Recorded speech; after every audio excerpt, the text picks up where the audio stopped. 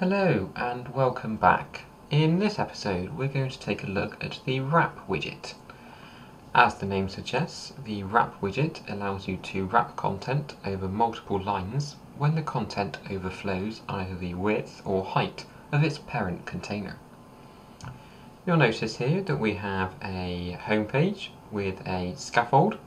The scaffold contains an app bar which you can see at the top of the application and what we're going to do is we're going to give our scaffold a body. And the body is going to contain a, a sized box which will be expanded to fill the width and height of the scaffold body. And inside this sized box we will create our wrap widget. Now the wrap widget takes a list of uh, child widgets so we're going to populate it with a few cards. The first card there will be a red colour and we will give it a fixed width and height container for the purposes of this demonstration of 100 pixels wide by 100 pixels tall. We will then copy and paste this card a few times and we'll create a green card and a blue card like so. If I then save that, you'll notice after the app is hot reloaded, we can see those three cards arranged in the wrap widget.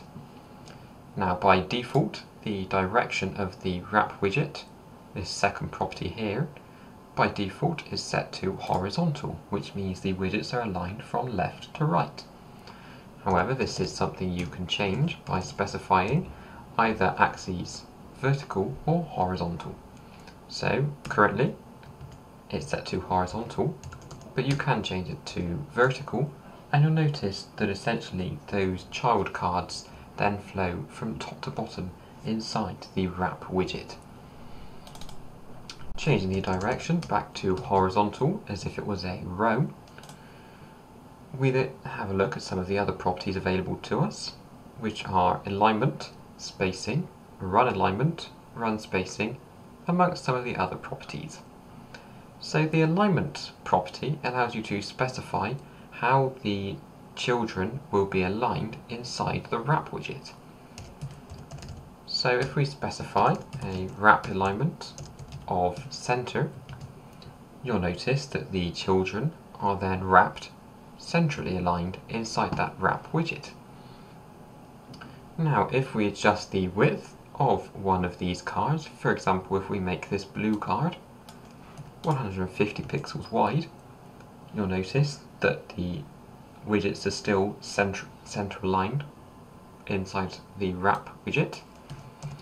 However, if we increase the width there to 200, you'll notice how it flows onto the next line However, the widget still remains center aligned inside the wrap widget.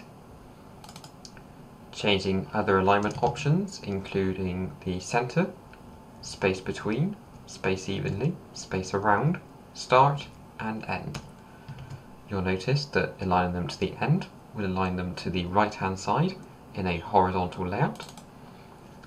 Start is the default which aligns to the left hand side and finally the space between, space evenly and space around are similar to the equivalent flex properties coming from a web development background.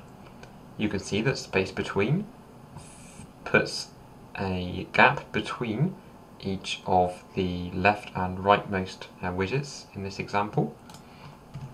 Space around will put a gap around the widgets on their left and right hand side and finally space evenly, we'll put an even amount of space to the left and right of each of the child widgets inside the wrap widget.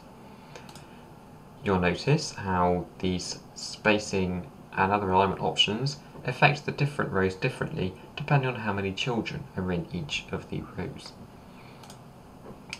Now the other options that you have available to you include spacing. Now this allows you to specify an amount of spacing between each one of the child widgets. So for example, if we specify the spacing to 20, And to make it more visible, we've changed the alignment to center aligned. You'll notice how we have a spacing of 20 between the two widgets. Likewise, we can increase that spacing to 40, and you'll notice the gap between the widgets increases. Putting the spacing back down to 20, you'll also notice that there are other two properties available called run alignment and run spacing.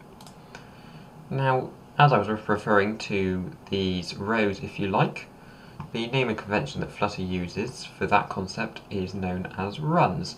So this here is the first run, and this here is the second run. So what we can specify is the run alignment, and this allows you to uh, specify how the runs are aligned inside the uh, wrap widget. So what we can do is specify wrap alignment.center and you'll notice how the runs are then centered inside the wrap widget. You'll recall earlier that we use an expanded sized box, meaning that the wrap widget fills up the entire width and height of the scaffold's body. This means that by default, with the run alignment of start, the widgets will appear at the top of the page. With a run alignment of center, the widgets will appear in the center of the page. And then finally with a run alignment of end, the widgets will appear at the bottom of the page. Likewise, much the same as the alignment property, you have a number of other options such as space evenly, space between, and space around. For example, space evenly, much the same as the alignment property, will space the widgets out in each of their runs with an even amount of spacing between each of the runs with this being the first run and this being the second run. Last but not least, if we change that space evenly back to center to make this next demonstration more prominent, you can customize the run spacing. Now this run spacing is the amount of space between each of the runs, or rows in this example.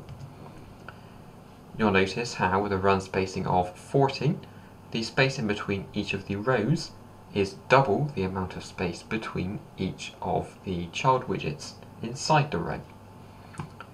You can fully customize these values and increase or decrease them as necessary. So essentially the wrap widget allows you to specify a number of child widgets and the child widgets will automatically wrap based on the width and height of their parent container, meaning that you can avoid the overflow errors when you have widgets that will overflow off the either width or height of the page. I hope this has proven useful. Thank you very much for watching.